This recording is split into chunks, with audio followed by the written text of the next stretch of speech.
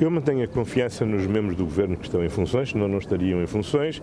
Eh, eu não ouvi diretamente essas declarações, como sabe, ontem estava em Cabo, estive em Cabo Verde, mas eh, tomei nota que o Sr. Ministro disse que voltará à Assembleia da República e dará todos os esclarecimentos que houver a prestar à Assembleia da República. Mas acha normal? Agora, o que eu não acharia normal era que um Ministro mentisse sobre aquilo que sabe ou aquilo que não sabe.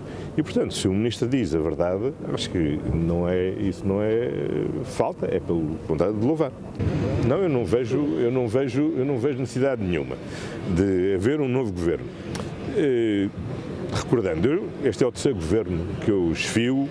Durante seis anos fui, aliás, muito criticado por ser ultraconservador eh, na manutenção de membros do governo, de fazer poucas remodelações, eh, de eh, estar excessivamente apegado à estabilidade e, de facto, tenho orgulho, devo dizer, que durante os eh, meus primeiros dois governos, vários dos ministros que exerciam, ministras que exerceram funções tenham estabelecido novo máximos de duração em funções naquelas pastas e pastas difíceis. Foi assim na educação, foi assim na, foi assim na justiça, foi assim em várias, em várias áreas.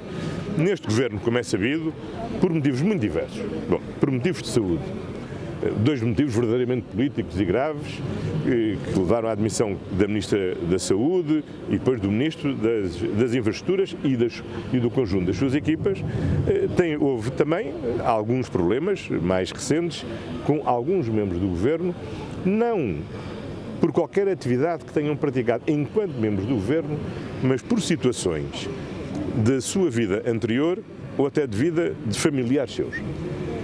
Pronto, são obviamente situações que ninguém deseja, eu já disse que lamento, já disse aos portugueses que lamento perfeitamente, eh, profundamente, eh, um sinal de eh, menor foco e concentração do Governo nas suas atividades, mas creio que é uma fase que está ultrapassada.